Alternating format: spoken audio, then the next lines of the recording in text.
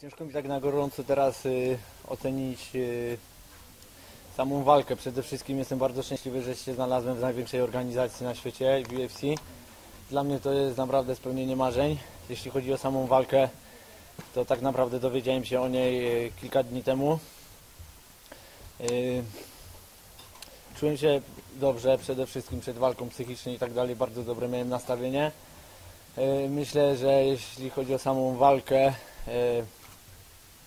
troszeczkę zawalczyłem z zapasem, ponieważ nie spodziewałem się i nie byłem przekonany co do swojej kondycji, y, więc w momentach, w których powinienem znacznie przyspieszyć i wywierać większą presję, y, za długo się zbierałem do tego i czekałem z akcjami, ale tak na gorąco to y, nie ma, nie ma tragedii. Co było największym problemem dla Ciebie w starciu z Brazylijczykiem, bo był bardzo potężny, jeśli chodzi o gabaryty przynajmniej. Y, Był duży, ale myślę, że w klinczu, y, nie wiem, możecie się go zapytać, ale nie czułem jego przewagi fizycznej nad, nade mną.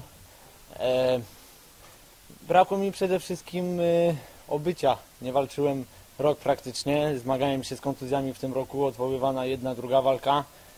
E, może tak miało być, ta walka może dla, na mnie tutaj czekała. Y, Tak jak mówię, dowiedziałem się o niej niecały tydzień temu. Y, Dziękuję UFC za naprawdę szansę mojemu menadżerowi Pawłowi Kowalikowi, który tutaj stanął naprawdę y,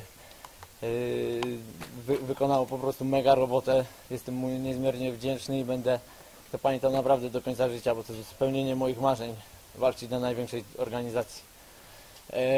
Co jeszcze mogę powiedzieć? Czułeś wsparcie kibiców? Słyszałeś? Tak, tak, czułem, czułem mega wsparcie, dziękuję bardzo. E, Przepraszam, że zawiodłem. Następnym razem wygram na pewno i wiem, że taka szansa jeszcze będzie przede mną. Mam nadzieję, że już niebawem. Nie wiem, czy w tym roku mi się uda, ale na początku przyszłego na pewno.